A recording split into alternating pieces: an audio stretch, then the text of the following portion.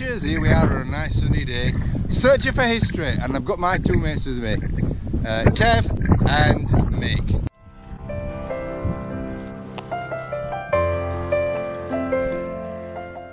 Kev comes up with another silver sixpence.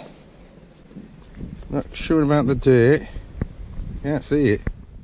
That's so he's got two coins down there. There's a hoard there.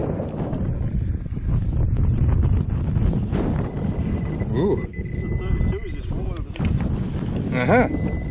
There you go. Oh, another one. Yeah, that's two. Isn't it more? Two down one hole. Hey! Is that That's it? three then. That's down one hole. That's three out of one hole. That's very good. Is that three out of one hole? well done, Kev. Yeah, that's it. Right. You know what? You got something else down there. Yeah, he's got another one. Oh my giddy aunt. Well done, Yeah, mate. yeah. Well done. Hey. Coins in same hole. Oh my giddy aunt, have, yeah. Oh, it's a hoard coming up now. It's, it'd be nice with a bit of silver, I think. Yeah, there's another one. Yeah.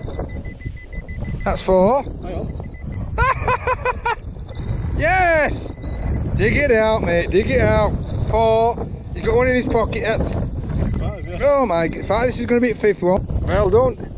Well done, Kev. So he's had a hoard of uh, George III uh, half pennies.